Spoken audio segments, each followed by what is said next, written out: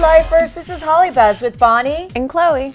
Justin Bieber. He goes to a strip club in Houston on the weekend, mm -hmm. and a stripper there called Diamond actually tweets that he grabbed her butt. Bonnie, I actually called the strip club called V Live, mm -hmm. and I spoke to someone there who wouldn't give me their name, but they did confirm that Justin was there, and there were pictures of Justin getting dollar bills wrapped around his wrist, and it looks like he had a really good time. There's also photographs on TMZ of him holding a beer. The thing is, though, is that Justin Bieber is not of legal drinking drinking age in the United States. So now this has reportedly sparked an investigation into what was the club thinking, maybe serving allegedly Justin some alcohol. Maybe he was holding it for somebody else. Justin is keeping busy every Monday now. He is releasing a new song. He's calling it Musical Mondays.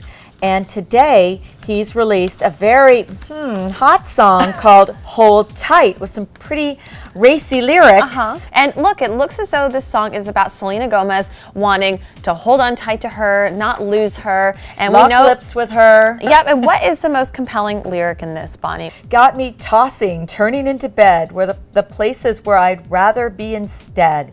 You don't know your strength. Missing you is like adrenaline. It's like Dr. Seuss meets Shakespeare. I love it. Well, also, I thought what was really interesting is that when he first captioned this song, now he's changed the caption, but he says, I'm a hopeless romantic. When I love someone, I never want to let them go. Seems to me he's talking about Selena Gomez one more time. So it'll be interesting to see if Selena Gomez responds because we do know that she does like his new music. But she has her own music that she sings about Justin, Love Will Remember, and she keeps crying every time she sings it. Doesn't look like she's going to have a new boyfriend anytime soon. Well, in this new interview she actually gave, she actually says, I'm not going to have a boyfriend anytime soon. So maybe she's trying to send a message to Justin saying, come and get it. I'm ready to date you. I'm single. So, Hollywood lifers, do you think that Hold Tight, Justin's new song, is all about Selena? Let us know and subscribe to Hollywood Life.